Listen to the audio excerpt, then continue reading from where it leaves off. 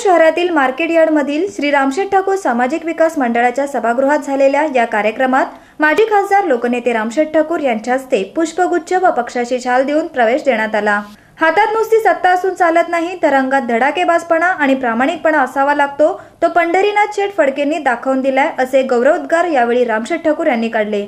एक गोष्ट अशी आहे आता सत्ता असून चालत नाही.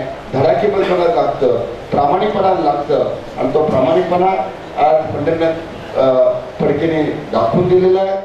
यावेळी जिल्हा प्रवक्ते वाय टी देशमुख तालुकाध्यक्ष अरुण शेठ भगत तालुका उपाध्यक्ष संजय पाटील माजी नगरसेवक मनोहर म्हात्रे वासुदेव गवते यांच्यासह मान्यवर उपस्थित होते.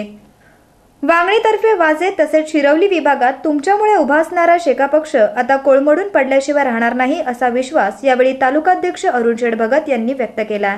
तुमच्या भागामध्ये वाघली तर्फी वाजा असू दे किंवा शिरवली भागामध्ये तुमचं वजन आणि तुमच्यामुळे भारतीय शेतकरी कामगार पक्ष त्या ठिकाणी उभा होता.